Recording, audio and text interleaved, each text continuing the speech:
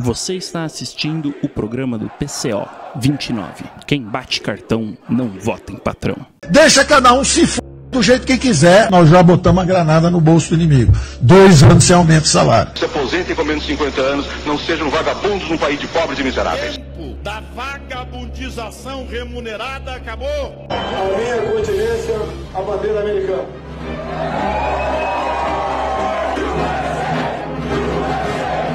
Pois eu afirmo que com, com convicção, processo do im- impeachment é previsto na Constituição e este em especial não é golpe, ele é constitucional. Estamos vendo aqui não é golpe, é democracia, porque assim disse o Supremo Tribunal Federal. É isso o que querem os poderosos, os empresários, a burguesia e o imperialismo norte-americano: tirar dos pobres para dar para os ricos. Precisamos de uma esquerda que esteja disposta a dar o combate, a enfrentar por todos os meios necessários esses capitalistas. Chega de parlamentares que muito dizem e nada entregam. O PCO defende a imediata revogação da reforma trabalhista e da Previdência. Queremos os direitos dos trabalhadores de volta, que se revertam as privatizações e que as estatais trabalhem para o povo brasileiro em primeiro lugar. Somos o partido que defende a liberdade de expressão irrestrita e o direito ao armamento da população. O PCO é um partido de trabalhadores. Nossos candidatos não são políticos profissionais. E é isso que defendemos para o Brasil: